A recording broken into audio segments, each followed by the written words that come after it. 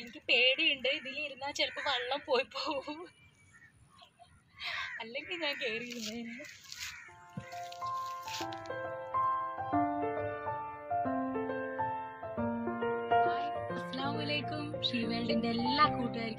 ഇന്ന് ഞാൻ നിങ്ങളെ കൂട്ടിക്കൊണ്ടു പോകുന്നത് ഒരു കൊച്ചു ദ്വീപിലേക്കാണ്. നാല് വശവും വെള്ളത്താൽ ചുറ്റപ്പെട്ട് കിടക്കുന്ന ഒരു കൊച്ചു ദ്വീപ്. ഞങ്ങളുടെ വീടിന്റെ തൊട്ടടുത്ത് തന്നെയാണ് കേട്ടോ. കുറച്ച് പോയാൽ മതി. ഇവിടെ അടുത്ത് തന്നെയാണ് എന്റെ മക്കൾ പഠിക്കുന്ന സ്കൂളും. ഒരു പ്രത്യേക ഭംഗിയാണ് ഇവിടെ. അപ്പോൾ നാട്ടിൽ നിന്നൊക്കെ ആൾക്കാർ വന്നാലൊക്കെ ഇവിടെ വന്ന് ഇതൊക്കെ കാണാറുണ്ട്. ശരിക്കും പറഞ്ഞാൽ ഇപ്പോൾ കുറേ ആയി ഞാൻ ഇവിടേക്കൊക്കെ വന്നിട്ട്. കുട്ടികൾ ചെറുതായിരിക്കുന്ന കാലത്ത് സ്കൂളിലേക്ക് ഞാൻ തന്നെയായിരുന്നു കൊണ്ടാക്കാറ്. ബസ്സിലൊന്നും ഞാൻ വിടൂലായിരുന്നു. ഇന്ന് പിന്നെ ഇക്ക ഫിലിം ഷൂട്ടിങ്ങിന് വേണ്ടിയിട്ട് ലൊക്കേഷൻ നോക്കാൻ ഈ ഭാഗത്തേക്കാണ് വരുന്നതെന്ന് പറഞ്ഞ്. അപ്പോൾ ശരിക്കും പറഞ്ഞാൽ ഈ ഭാഗത്തേക്കാന്ന് എനിക്കറിയില്ല. ലൊക്കേഷൻ നോക്കാൻ പോവാന്ന് പറഞ്ഞപ്പോൾ ഞാനും കൂടി കയറിയിരുന്നതാണ് അപ്പോൾ ഇതെല്ലാം കണ്ടല്ലോ. നല്ല ഭംഗിയുള്ള സ്ഥലമല്ലേ?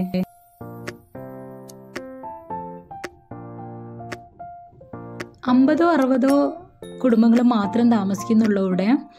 അപ്പോൾ ഇവരുടെ ഉപജീവന മാർഗം എന്ന് പറഞ്ഞാൽ മത്സ്യമാണ് കേട്ടോ. മീൻപിടുത്തം ആണ് ഇവരുടെ ജോലി.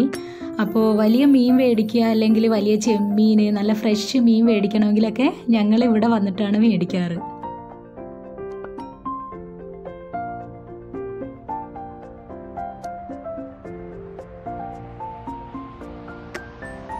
ഇപ്പോൾ ഞങ്ങളുടെ ഭാഗത്തു നിന്നുള്ള കുട്ടികളൊക്കെ ഫോട്ടോ എടുക്കാനും പിന്നെ എല്ലാവരും വീഡിയോ എടുക്കാനൊക്കെ എപ്പോഴും ഇവിടെ വരാറുണ്ട്.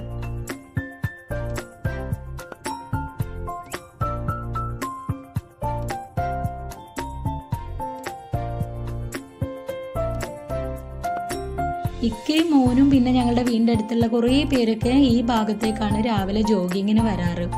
കാരണം ഇവിടെ നടക്കുമ്പോൾ ഒരു കറക്റ്റ് ടൈമിംഗ് കിട്ടുമെന്നാണ് പറയുന്നത്.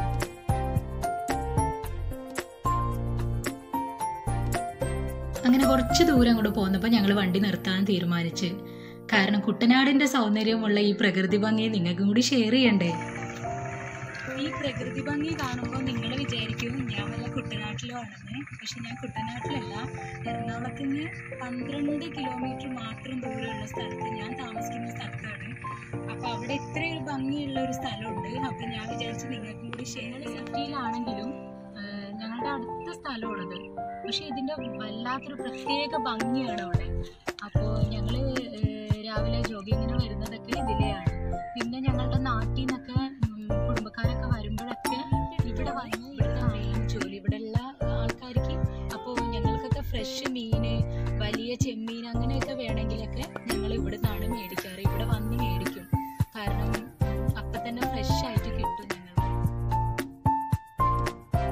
ഇന്നലത്തെ മഴയിൽ നന്നായി വെള്ളം കൂടിയിട്ടുണ്ട്. അപ്പൊ ഇക്ക ഇന്നലെ വന്നപ്പോൾ ഇത്രയും വെള്ളം ഉണ്ടായില്ലെന്നാ പറയുന്നത്.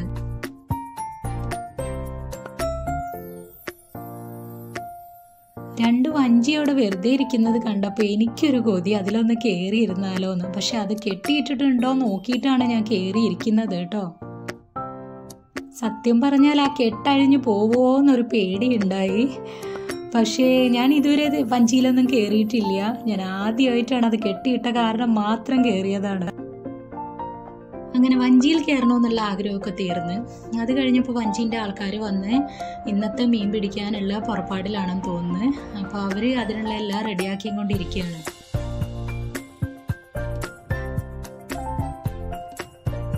എല്ലാം റെഡിയാക്കി അവർ പോകുന്നത് കണ്ടപ്പോൾ ശരിക്കും പേടിയായി. പക്ഷേ ഇവിടെ ഉള്ളവർക്കൊക്കെ ഇത് നല്ല എക്സ്പീരിയൻസ് ആണ്.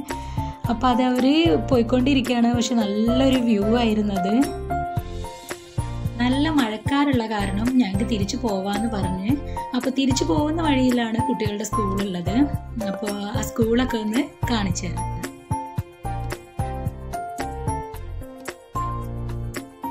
അപ്പോൾ ഞങ്ങൾ തിരിച്ചു പോവാണ്. പോകുന്ന വഴിയിലുള്ള എല്ലാ കാഴ്ചകളും നിങ്ങൾക്കും കൂടി ഷെയർ ചെയ്യാം.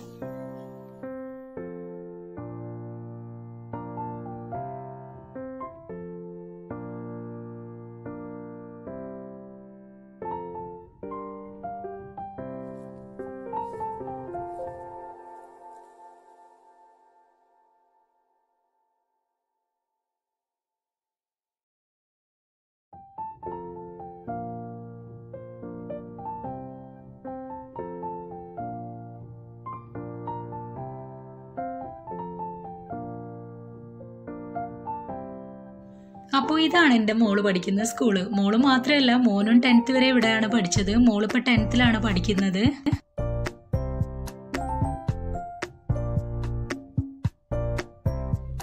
ശരിക്കും പറഞ്ഞാൽ ഇങ്ങനെ സ്കൂൾ കണ്ടിട്ടില്ല. എപ്പോഴും കുട്ടികളുടെ ആവശ്യത്തിന് സ്കൂളിൽ വരേണ്ടി വന്നാലും എപ്പോഴും തിരക്കായിരിക്കും ഇവിടെ. പക്ഷേ ഈ ഒരു സാഹചര്യം ആയതുകൊണ്ട് ഇപ്പോൾ ഒരു തിരക്കും ഇല്ല.